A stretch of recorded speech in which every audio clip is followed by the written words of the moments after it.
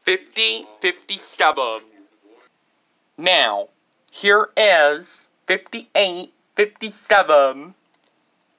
Side ad for WeBuyAnyCar.com, which says, get your free online valuation now.